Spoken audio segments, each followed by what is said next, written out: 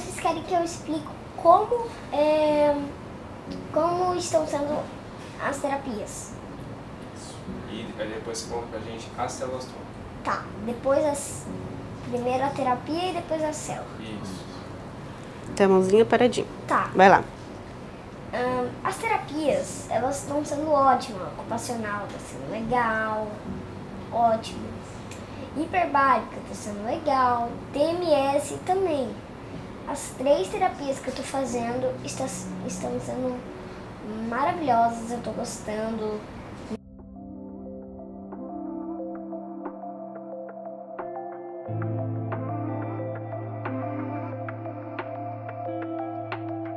Meu filho Bernardo, Vinícius, meu esposo Gustavo.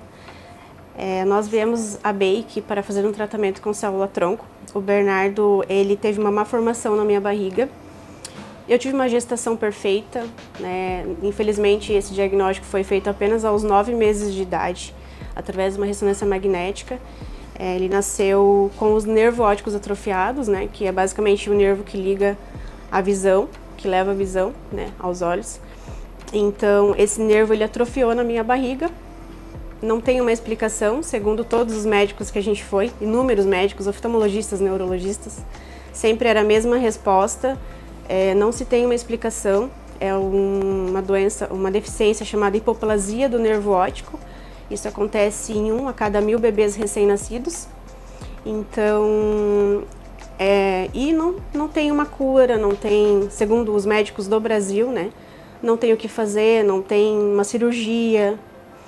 E a gente não tinha esperança nenhuma de um dia o Bernardo poder ter alguma melhoria na visão dele, até então.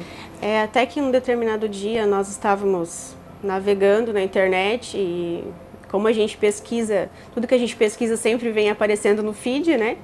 Estava eu lá pesquisando sobre nervo óptico, enfim, e me veio a Bake, né? tratamento com célula-tronco na Tailândia e na China. E aí a gente, opa, né, vamos se aprofundar mais nisso, vamos ver o que, que se realmente isso acontece, né?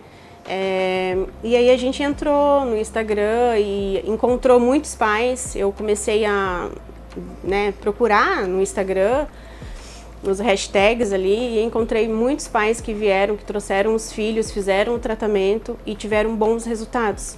Então a nossa esperança, assim, que nunca tinha tido antes, é, né, acendeu aquela luzinha e aí a gente colocou isso em prática.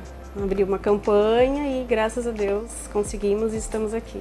E como eu tive muitas referências, muitas famílias que vieram para cá, fizeram tratamento, né, e tiveram bons resultados, melhorias, e falaram muito bem de tudo, do hospital, do tratamento que receberam aqui, com relação a basicamente tudo eu estava tranquila.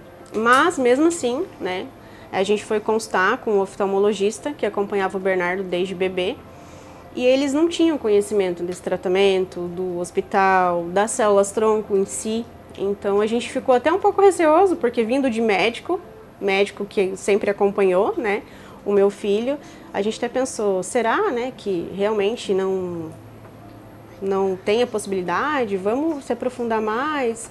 Aí a gente, a gente viu que realmente tinha essas pessoas que vieram e a gente acreditou nisso, pesquisamos, né, que não tinha nada que pudesse ser negativo, né, que o que poderia acontecer é simplesmente não funcionar, né, nada é, de desvantagem, simplesmente poderia não funcionar. E a gente seguiu com propósito. E aí a gente resolveu abrir uma campanha né, abrir uma vaquinha no Instagram para poder arrecadar os valores, que no momento era um valor muito alto né, para a nossa realidade financeira. Então, é, isso foi assim, questão de virada de noite. Eu dei um play no vídeo do Bernardo meia-noite e no dia seguinte já estava viralizando. É, foi algo assim surpreendente, foi muito emocionante porque a gente não esperava uma repercussão tão grande em tão pouco tempo. E dentro de nove dias a gente conseguiu todo o valor que precisava para o tratamento né? É, e demais despesas aqui. E não só para uma acompanhante, que até então era o, né, o propósito de vir o Bernardo, ou eu, ou o Gustavo. E a gente conseguiu passar da meta, arrecadou valor para que todos viéssemos, né, a família toda. E isso foi assim para mim que eu tive uma preocupação muito grande com relação a isso, porque o Bernardo ele tem diabetes tipo 1, né? Ele, ele precisa de insulina 24 horas por dia, é um monitoramento da glicose dele 24 horas. Então fiquei bem preocupada, a questão do voo longe, né, se ia funcionar. Então ter o apoio um do outro, estarmos juntos, né, nesse momento, para nós foi assim uma conquista, uma vitória já, muito grande.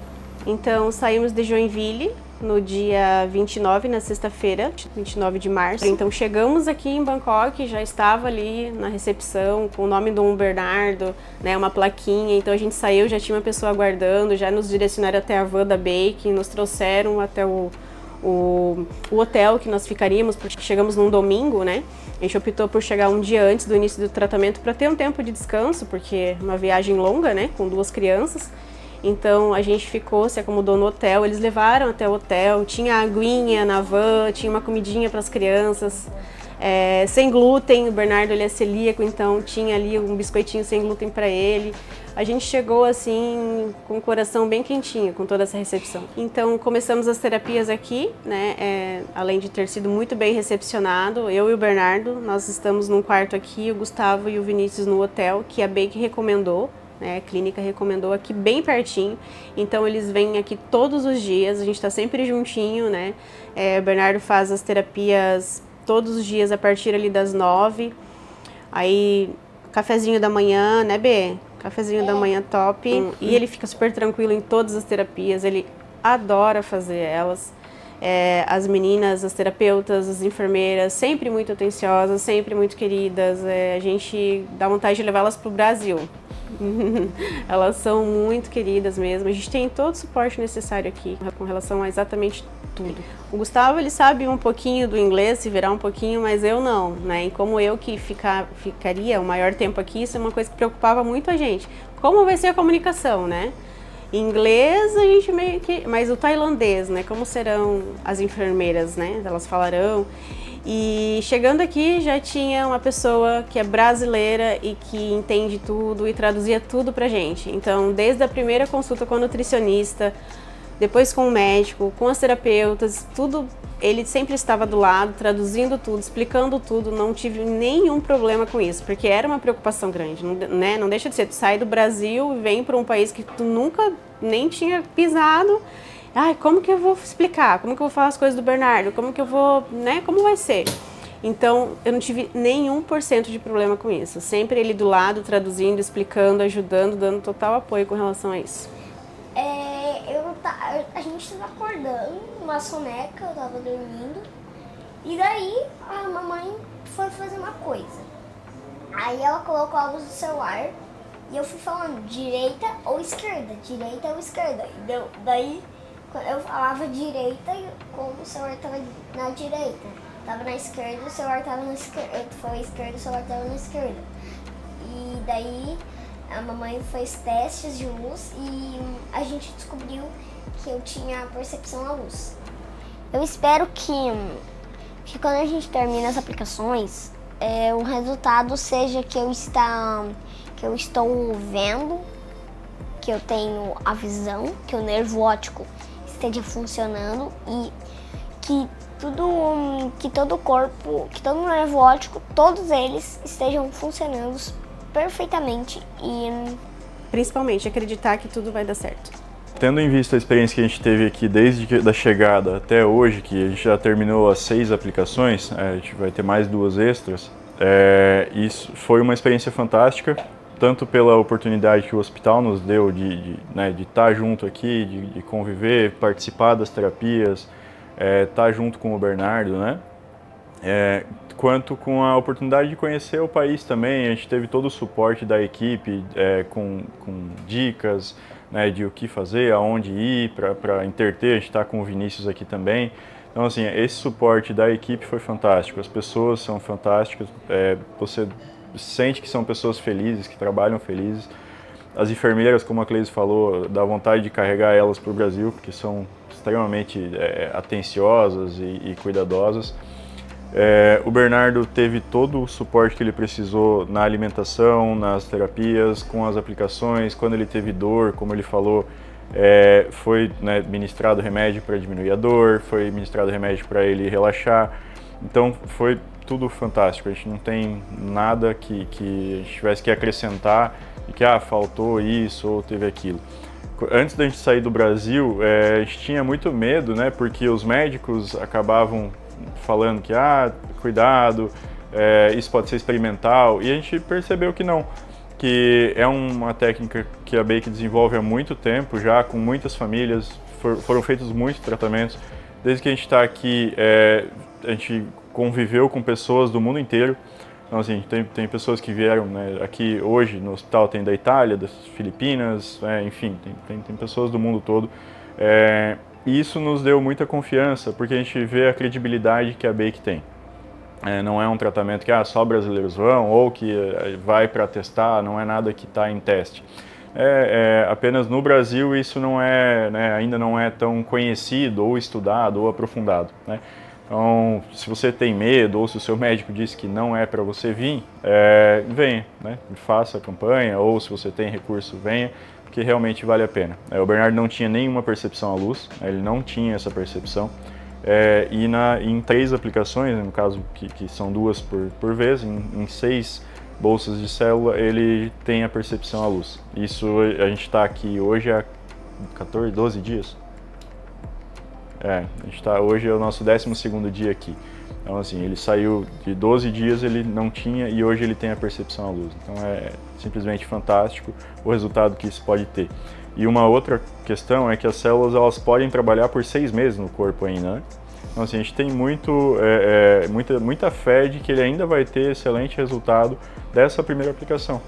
É, e que futuramente talvez a gente possa voltar a fazer novas aplicações. É, o que, a mensagem que eu, o meu esposo, a nossa família, né, tem para deixar durante todo o nosso processo aqui na Bake é não tenham medo.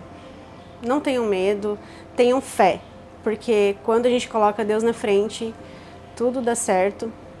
É, muitas vezes as coisas não saem 100% como a gente quer, mas é como a gente precisa, como Deus quer e, e acreditar.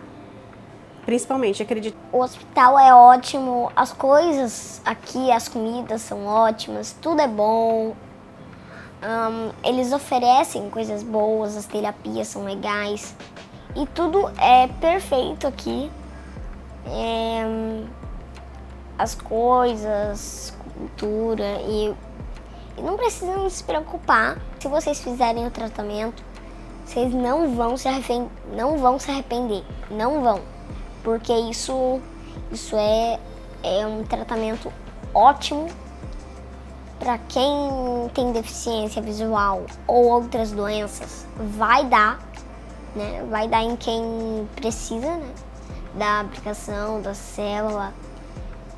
E é muito bom porque a gente hum, retorna as coisas que estão destruídas ao nosso corpo. A gente tem que sempre dar valor para as coisas que a gente tem.